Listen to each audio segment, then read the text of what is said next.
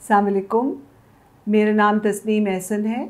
मैं आज world diabetes day के मौके पे आपसे मुखातिब हूँ और मेरा पैगाम आपके लिए ये है कि डायबिटीज़ का जो मरज़ है, वो बेशक मुश्किल है और फिर आपका साथी है, एक बार तशखीस हो गई, लेकिन इस पर काबू पाया जा सकता है और उस पर काबू पाने के लिए कुछ चीज़ें आपको करनी होंगी और कुछ आपके हेल्थ केयर प्रोवाइडर्स को करनी होंगी।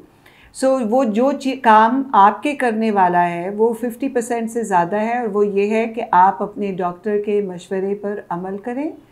खाना जो है वो आप एक तवाज़ुन से खाएँ जिस तरह से आपकी डाइटिशन आपको एडवाइस करती हैं। आपको नर्सेज भी एजुकेशन प्रोवाइड करेंगे इसके मैनेजमेंट में वो भी हेल्प कर सकते हैं। और आप अपने डॉक्टर से मुसलसल रुजू रहिए। एक वक्फे के साथ तीन से छः महीने पे मिलते रहिए, अपनी ट्रीटमेंट को एडजस्ट करते रहिए, उनके मशवरे पे अमल करिए और यूँ करते हुए इन आप डायबिटीज़ की जितनी लॉन्ग टर्म कॉम्प्लिकेशंस हैं, उससे बच सकते हैं। शुक्रिया।